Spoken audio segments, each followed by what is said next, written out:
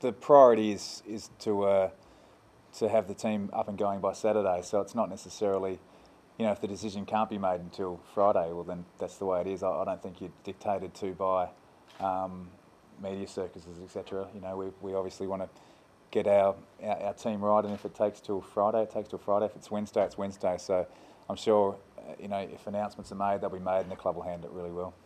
Comparisons with last year, Tom? Comparisons, The feeling around the group, I guess.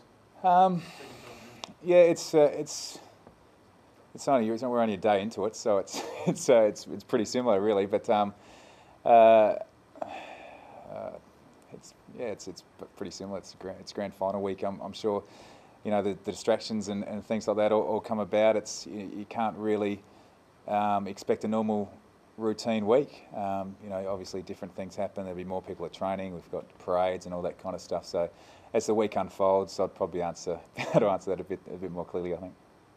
How do, you like the grand final parade? You're a big fan of it.